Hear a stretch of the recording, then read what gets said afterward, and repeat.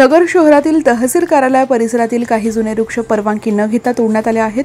विशेष म्हणजे हे वृक्ष याच आवारात असलेलं विशेष म्हणजे हे वृक्ष याच आवारात असलेल्या सामाजिक वनीकरण विभागाच्या कर्मचाऱ्यांच्या सांगण्यावरनं करण्यात आल्याचं बोललं जात आहे. याबाबत काही वृक्षप्रेमींनी तक्रार केल्यानंतर अहमदनगर महानगरपालिकेने पंचनामा केला. मात्र तोडलेल्या वृक्षांची अगोदरच परस्पर विल्हेवाट लावल्याचंही बोललं जात आहे. या वृक्षांच्या घटनेबाबत वृक्षप्रेमींनी नाराजगी व्यक्त केली असून दोषींवरती गुन्हे दाखल करून कारवाईची मागणी केली आहे. शहरातील शासकीय मध्यवर्ती कार्यालयाच्या आवारात नगर तहसील कार्यालयाबरोबर तोपखाना पोलीस स्टेशन सामाजिक वनीकरण जिल्हा कोषागार जिल्हा माहिती कार्यालय नगर रचनाकार रोजगार नोंदणी कार्यालय या आवारातील तीन जुने वृक्ष कोणतीही परवानगी न घेता तोडण्यात आले आहेत. सामाजिक वनीकरण कार्यालयातील कर्मचाऱ्यांच्या सांगण्यावरनं वृक्षतोडीचा हा प्रकार घडल्याचं बोललं जात आहे पालिकेकडून या प्रकारात पंचनामा केला तरी हा फक्त देखावा असून दोषींवरती कारवाई व्हावी अशी मागणी वृक्षप्रेमींकडनं करण्यात येते.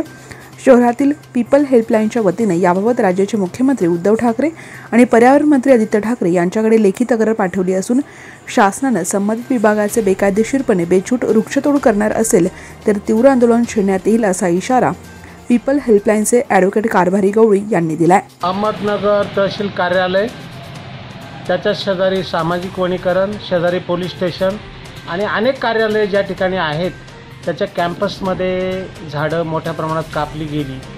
आणि अशा वेळेला नागरिकांमध्ये मोठा प्रश्न निर्माण झाला की झाडं आपण लावतो आहे आणि सरकारचे माणसं बिनधास्त झाडं कापत आहे महापालिका देखील या संदर्भात कारवाई करत नाही. राज्याच्या मुख्यमंत्र्यांकडे पर्यावरण मंत्र्यांकडे आम्ही तक्रार केली आहे. आणि ज्या अधिकाऱ्यांनी असं घोडचूक केली त्यांच्यावर जर कारवाई झाली नाही तर आमची पीपल्स हेल्पलाईनच्या पुढाकारातून आम्ही मोठं आंदोलन उभं केल्याशिवाय राहणार नाही. झाडं जगली पाहिजेत आणि लोकांमध्ये एक सकारात्मक संदेश गेला पाहिजे यासाठी सरकारने कारवाई करण्याची गरज आहे. धन्यवाद.